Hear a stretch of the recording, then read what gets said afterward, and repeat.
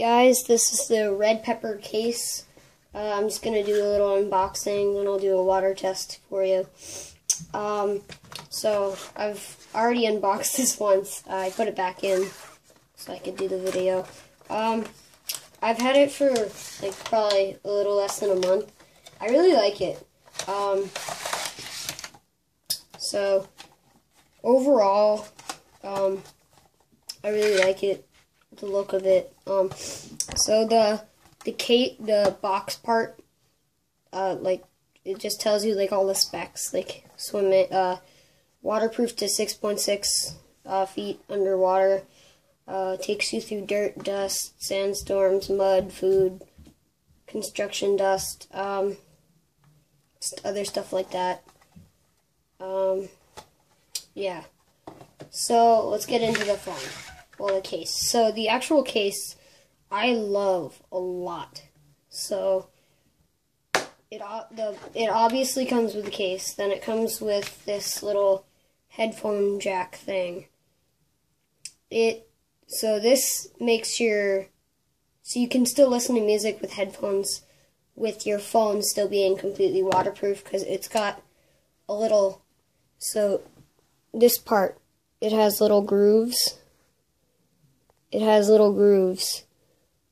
I don't know if you can see that but there's little grooves that screw into where this goes so that the phone is still waterproof. Your headphones are not but the phone is. So I thought that was kind of cool. Um, so it comes with that. Comes with a little like cloth to clean the screen, and then just like manual, like um, water test, installation, and then removal. Head like it talks about these. Um, okay, so now that we've gone through this, let's actually get into the water test. So, well, actually, first I'm gonna have to take the case off so I can get out the paper. Um, so you want to take the little headphone thing out and then open the the um, charging port.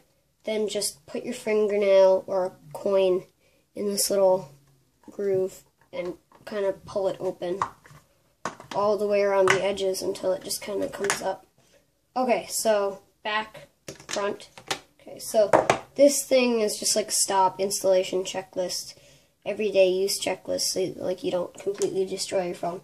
Okay, so I'm going to do a little test. I've got a bowl of water here. Okay, so I'm going to put a little piece of paper inside the case.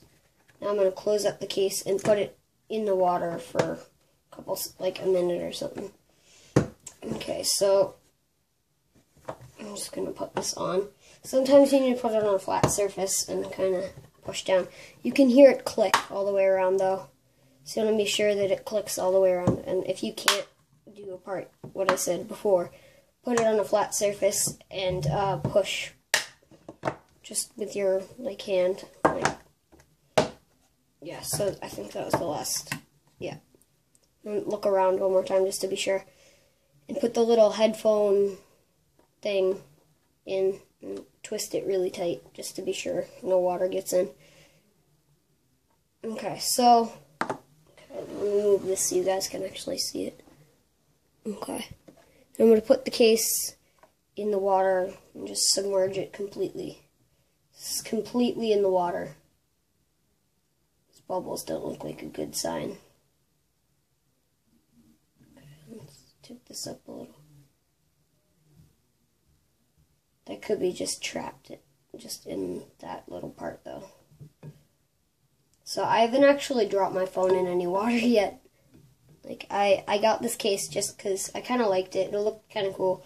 I didn't really feel like paying $80 for a real LifeProof case. Um, yeah, so this is actually looking pretty good. Okay, so I just move this. Let's get a paper towel to dry this off. Okay. So remember, there's like a little piece of paper in there to see if if it absorbs any water, then that means there was water in there. So, okay.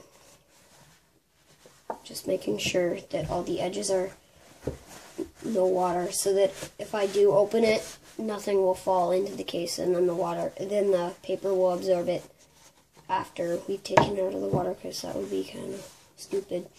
Okay. So, I think it's, alright, it's almost dry. Yeah, it's probably good enough. Okay.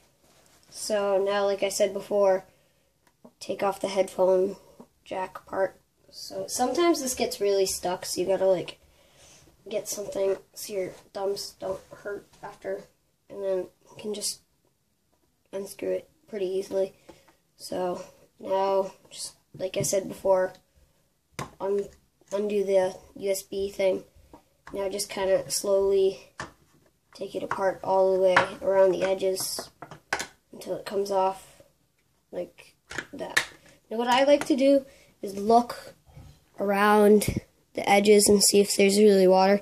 So it gets into about here and then this little ridge thing right here it makes it so no more oh shoot I just dropped the paper.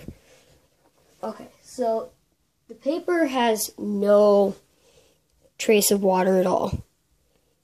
So that's a good sign. So there's nothing. Now let's look at the plastic. See, I don't see really anything at all. The back. Yeah, no water at all.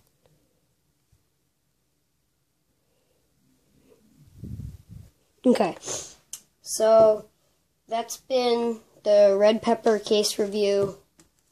Um, so, hope you guys liked the video. Please like and subscribe. Bye.